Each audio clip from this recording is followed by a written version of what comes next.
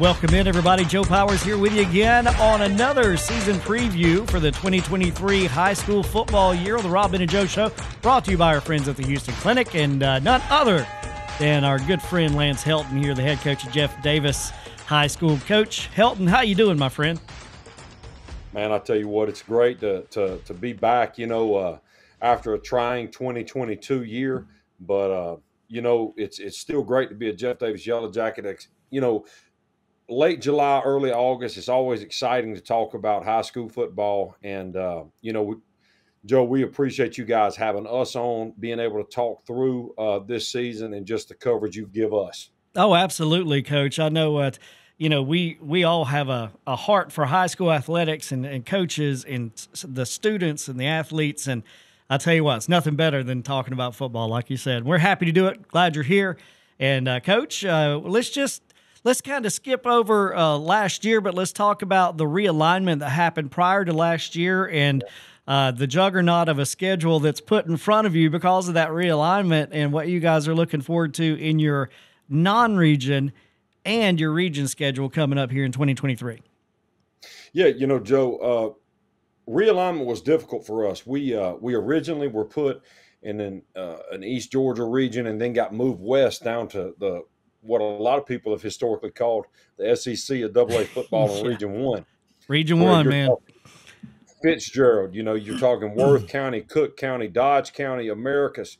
Uh, the list goes on and on. Berrien County. Yeah. Um, and then, you know, we had been good enough prior to our reschedule that we we had to bite off some big ones in our, our non-region too. So we start our year with Charlton, Pierce, Swainsboro, Metter. So it doesn't uh, it doesn't climb. We, you know, we're right at the peak from the start, and uh, you know, our, our kids are got to be tough to get it done. So, you know, I'm, I'm really uh, excited about this year. Joe, last year had us challenges. yes, you sir. losing that senior class from 21 that won all those games. We were very young. Found ourselves starting five freshmen last year. Um, found ourselves just in a in a in a gauntlet of a schedule with a bunch of puppies, and we're still going to be a young team in 23. But man, I, I think that that the struggles, Joe, can either turn kids away or it can galvanize a group. And what we've done is really come together. And uh, I'm excited to see some growth in the 2023 season for the Yellow Jackets. Yes, sir. Coach, I don't care who you are. Uh, you put a schedule like that in front of a team, a program, and then you say, uh, oh, by the way, I'm going to give you five freshmen to start with and uh, you didn't climb the mountain, coach. Somebody dropped you off out of a chopper right on top of the mountain and said, "Go get well, it, boys." You know, you know, Joe. We talked about it from the jump. You know, I think uh, everybody wants to consider themselves to go be one of the elite, and yeah. to be a good football team, I think you've got to go play good football teams. Right. I learned that all those years playing and, and at Washington County and, and coaching all that time, Coach Holmes. You know, you've got mm-hmm. to go mix it up early You've got to be able to take your lumps and and and learn how to do it if you want to be in that upper echelon. Mm-hmm. And for us, our young kids weren't quite ready for that last year. Um, but right now, we've got a great opportunity in 2023 to bow our necks, to see our growth model, yeah. and uh, to put ourselves in position to to climb back up the ranks of Double A. Oh yeah, and coach, uh, you know, just the fact of the matter is, uh, and and you know this, I'm preaching to the choir in this one-on-one conversation, but uh, the the fact of the matter is, you take uh, those young men that are out there playing, and you take the the men that they're playing against, and you take the difference of time in a weight room and just body mass and maturity. You know, I was talking to Coach Burleson earlier today from uh, Telfair County, and uh, he joked and said this. He said, "Man, puberty's a great thing, right? When these kids get a little older and get to put a little more meat on their bones and, and get to to build, so that, you know that makes a difference." And uh, you know, I'm sure your guys will come out there and you will you will mark that progress in all the ways that you know a good head coach will, and and the execution and the details and you know the things about football that you can control uh, even uh, regardless of, of the size of the person you're lined up against. So I'm sure you guys will measure that coming up this year, and uh, we'll look forward to a great 2023. Now, Coach, uh, let me ask you, who are some of the names of those young players that you're bringing back that we're going to be listening to this year? Well, you know, I think it starts with your seniors. You know, uh, every high school football coach, every high school football player we either remember our senior year or we look forward to our senior year. There's no in between, right? Right. right. And so football teams come and go as their seniors go. And for us, um, we've got a small senior class. There's nine of them, but you know there's some that, that have been with us for a long time. Um, Carter Mullis, our middle linebacker and Z back, is uh, a guy that has been a three year starter for us, and he didn't play at all as a junior. Hmm. Um, had a knee, he had a foot injury that really hurt him, um, and and it missed his entire junior year. And we're very excited to get Carter back on the line of scrimmage. Um, there are two seniors that, that are starting for us, and, and, and one is Lewis Pooh Bear Baker. He's been with us for a long time. He's my man. And then our center, Trey Ray, um, is a senior name to, to keep remembering. Okay. You know, our, as far as juniors go, I think that the bell cow of our team, uh, once again, didn't play a single snap last year. He was our running back. Uh, they got hurt in the halfback camp, mm. and his name is Kyrie Hunt. Um, he's our H, he's our bell cow. We're really excited to get him back.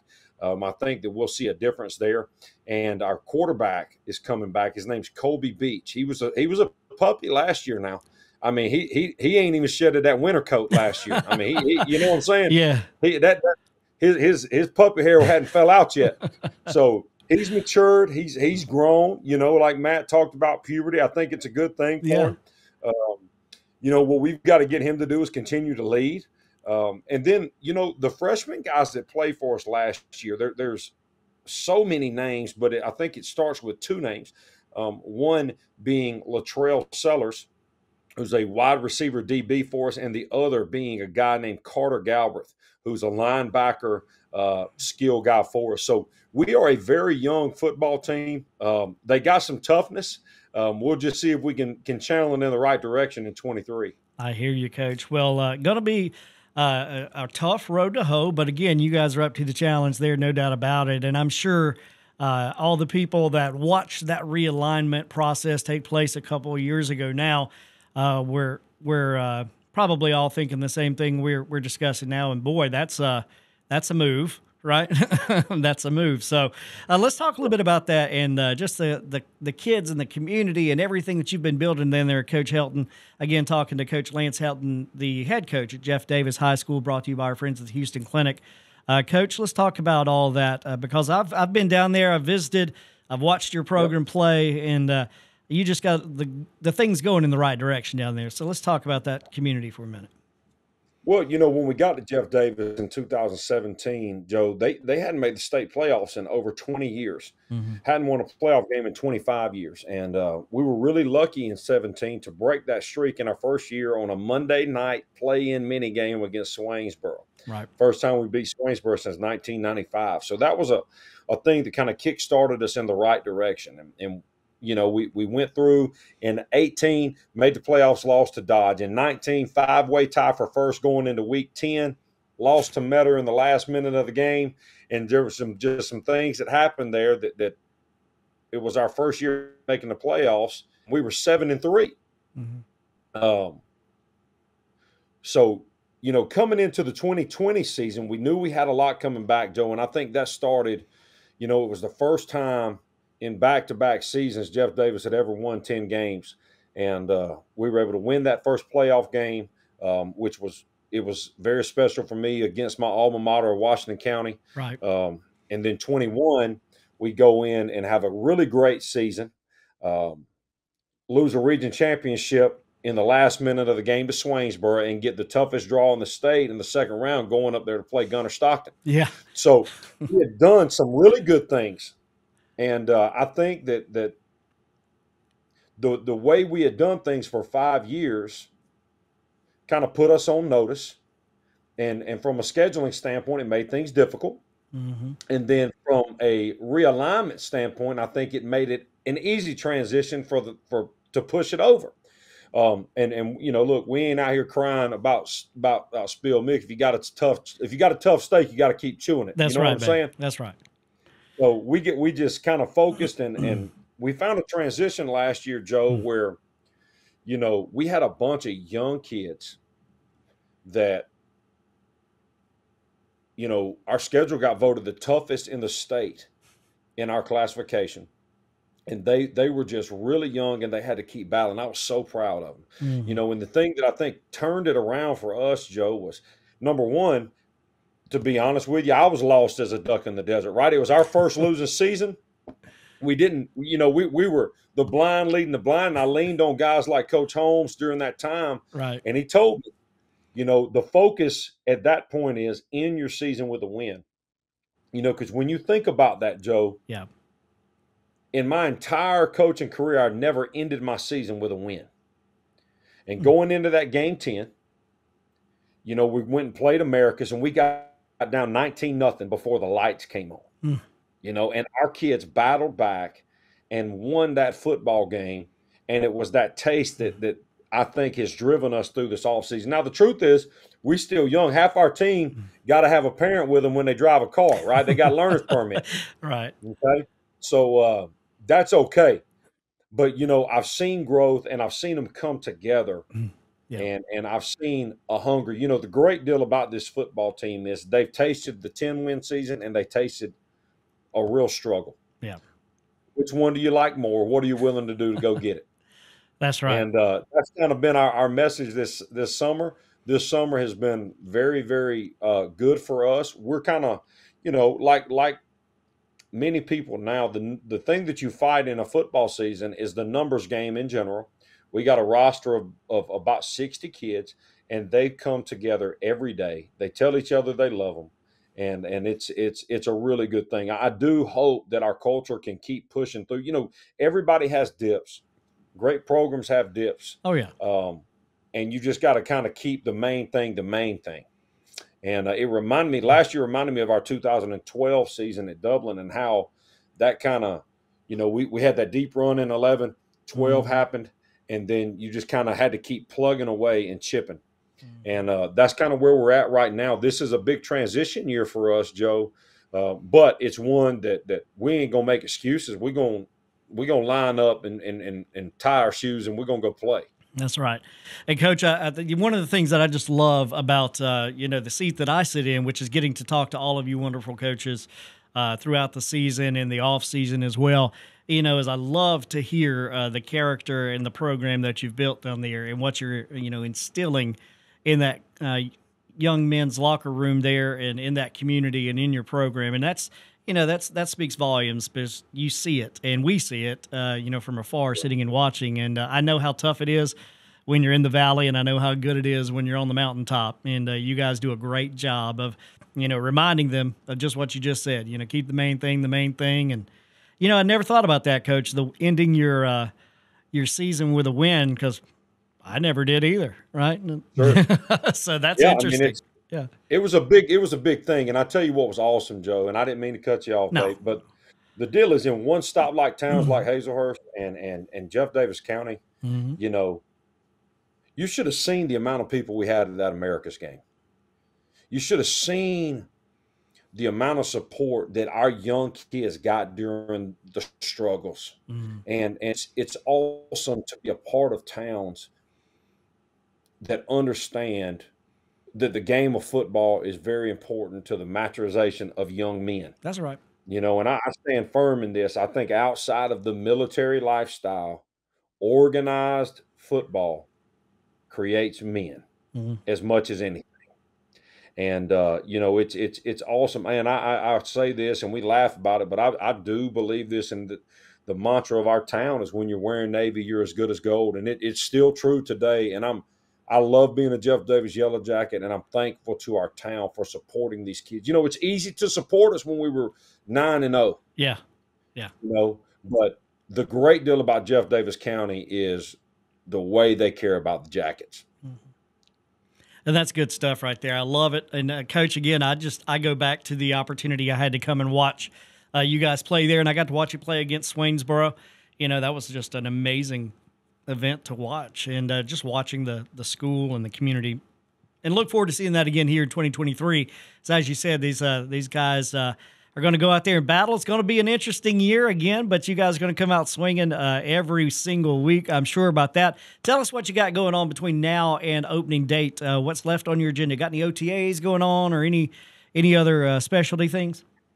Yeah, a lot of practice. you know what I mean? No, uh, we're going to West Laurens tomorrow to to, to their OTA. Uh, okay. Uh, I've known Coach Burdett a long time. Yep. So we're going to go up there. Um, we've got uh, a media day this weekend. Um, I'm going to take the two Helton kids and my wife out Saturday night, and it'll be kind of our last hoorah dinner. You know, we'll do acclamation next week. Um, and then it'll be it'll be on right. So we've got two weeks. We won't play week zero scrimmage. We'll open up with scrimmage against Atkinson County, okay. um, but it's it's now time to start refining.